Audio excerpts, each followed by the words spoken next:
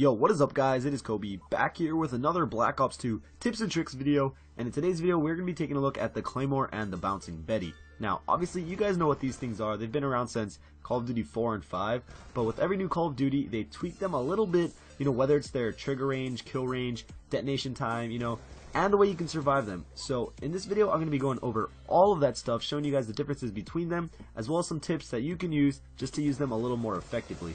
Now to get started, the first thing we have to cover is the maximum trigger area for these explosives. Because they are both triggered by enemy motion, the max range at which the enemy player is detected is super important. As you can see here, the Bouncing Betty's trigger area is actually fairly large, and as you know, it covers the full 360 degree area.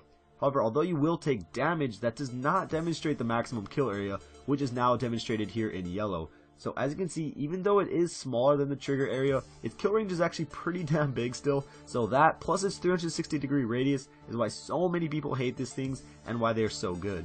But now let's take a look at the Claymore. So the Claymore is much more dependent on its actual placement and direction than the Bouncing Betty, and as I'm sure you guys know by now, it only has a trigger and a blast radius of about 40 degrees, which makes its effective area much, much smaller. Not only its total area, but both its trigger and its kill range is slightly shorter as well. So if you only looked at this, you would think the Betty is just far better than the Claymore, but there's a couple more things to look at to really decide its effectiveness. First, it's detonation time. The time between being triggered and actually detonating is incredibly important, and more times than not, that's what determines whether or not you get the kill. Now, the C4 detonates roughly 0.15 seconds after being triggered, whereas the Bouncing Betty takes around 0.21 seconds. Now, that may not seem like much of a difference, only 0.06 seconds, but trust me, it makes the world of difference. And I'm sure you guys noticed it as well while you were playing. It's almost impossible to react fast enough to avoid being killed by a Claymore. However, if you are paying attention, it is fairly easy to avoid a Bouncing Betty. So in this area, the upper hand definitely goes to the Claymore. Now, how might you survive or counter these explosives? Well, for the Bouncing Betty, you have a bunch of different options. The easiest way, of course, is just to crouch. Past Call of Duties, you have to go all the way to prone, but in Black Ops 2, you won't take any damage whatsoever by simply crouching. This makes them insanely easy to avoid, especially if you are on the tactical layout. For the Claymore, however, changing your stance won't help you at all. Whether you're lying down, jumping, you will still receive the same amount of damage. There are also three perks that can help you survive both of these, Lightweight, Flak Jacket, and Engineer.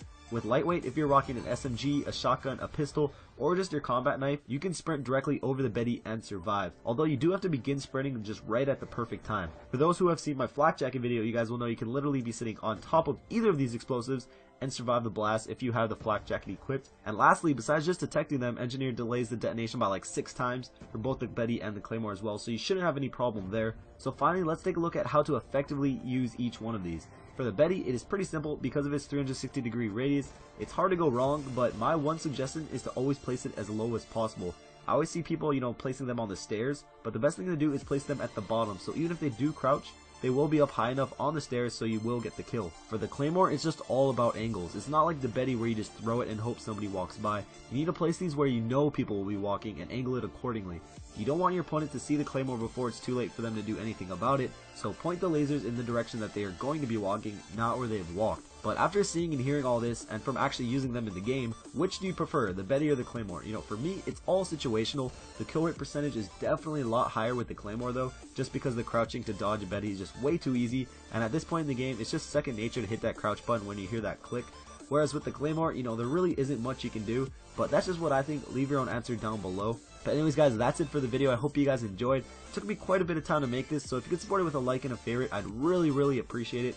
As you can probably tell by my voice, you know, I've had a cold for the past week, but I just really want to make a video. I didn't want to go a whole another week without making a video, so I just wanted to make this for you guys. Also, I hit 7k two days ago, so thank you guys for that. I'll try to muster up something for you guys at like 7,500 subs. Probably a giveaway. I don't know. I'll think of something. But again, thank you guys for watching. A couple of videos on screen. Go check them out if you want. And I'll catch you guys later. Peace.